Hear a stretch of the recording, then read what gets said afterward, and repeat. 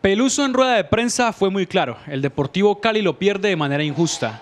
Y sí, es difícil analizar este partido desde el resultado porque el Deportivo Cali tuvo las mejores ocasiones de gol, pero dilapidó muchas. Hoy careció de la eficacia que sí tenía en otros partidos y las ocasiones de gol que hoy generó, la verdad fue que no, no pudo concretarlas. Termina el equipo muy desordenado, jugando al pelotazo, tratando de empatar un partido que no tenía por qué terminar así, pero que en un error lamentablemente eh, el Cali lo pierde, un balón que le hace un extraño a Camilo Vargas y se le mete. Como también que es verdad que el equipo ha bajado su rendimiento futbolístico luego del clásico. El equipo de esos últimos cuatro partidos ha perdido tres. Perdió frente a América, perdió ante Jaguares, le ganó Alianza Petrolera de manera eh, no tan, tan buena, no tan ordenada, y hoy termina perdiendo frente a Bucaramanga, que no tenía nada por lo cual venir a pelear aquí. Pero así es el fútbol, es de efectividad. Bucaramanga la metió, el Cali no lo pudo hacer y ahora complica un poco su clasificación. En verdad la complica, eso fue lo que dijo Abel Aguilar en rueda de prensa. Cuando dependes de ti mismo, es fundamental. Evidentemente hoy teníamos la posibilidad de clasificar y dejar eso listo, no se hizo así, no lo hicimos y, y ahora tenemos que pensar en Nacional. Seguramente no va a ser fácil, pero pero los partidos son diferentes y debemos darle la vuelta a esto el miércoles. Cortesía de OneFootball, nuestra aplicación que nos patrocina. Esta aplicación está excelente, es gratuita fuera de eso. Usted aquí puede ver los resúmenes, las alineaciones. A usted que es amante de la estadística, aquí puede ver todas las estadísticas de los partidos de su equipo favorito, en este caso el Deportivo Cali. Hoy con una parte especial que es el podium.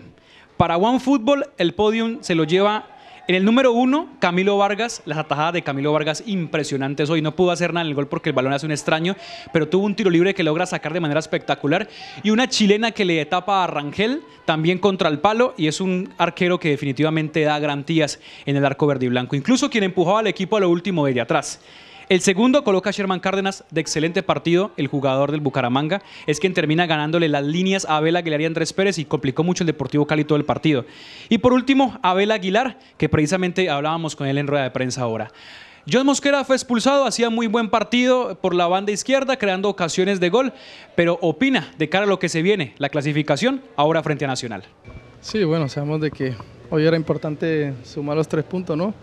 Creo que hemos tenido más chances que ellos, más oportunidades que ellos y bueno, al final meten un gol que le da a Lucumí creo que en, el, trasero y el balón de entrada. Nosotros tuvimos ocasiones más claras que ellos, la de Benedetti, la de Roa y bueno, al final no, no pudo ser.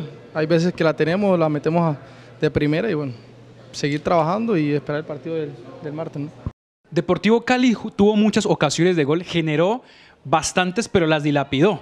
Hoy Andrés Felipe Roa termina jugando en una posición que no es la habitual de él y es que Peluso lo coloca a jugar prácticamente como un punta. Tuvo ocasiones, dos claras, una le, una le pega en el palo, otra se va por fuera, un gol anulado de, manera dudosa y esas ocasiones que el Cali desperdicia terminan a lo último costándole el partido hoy frente a Bucaramanga. Eso nos dijo Andrés Felipe Roa en tiempo del hincha. Hoy tuve la posibilidad de jugar en una posición que, que, no estoy acostumbrado, traté de, de hacer siempre lo que el profe me dijo que era llegar al primer palo en las pelotas de centro pero bueno, eh, independientemente de eso, yo creo que lo que nos deja un poco aburrido es el, resultado final. Tiene que revisar Di Mayor el tema de los árbitros porque eh, hoy lo que pitó el señor Liván Suárez fue demasiado dudoso. Un penal claro para Deportivo Cali, no lo pita un gol. Ahí también bastante dudoso. Otras ocasiones eh, de juego, específicamente una falta sobre Iber Caicedo, que para mí es roja porque es último hombre. Se le pasó todo eso. Y no lo digo porque hoy ha sido afectado el Deportivo Cali, porque en otras ocasiones también fue beneficiado con malos arbitrajes. Pero hay que analizar eso porque ya se vuelve un tema donde el arbitraje se vuelve protagonista y el arbitraje nunca puede ser protagonista de un partido de fútbol. Este fue mi análisis de Deportivo Cali 0, Atlético Bucaramanga 1.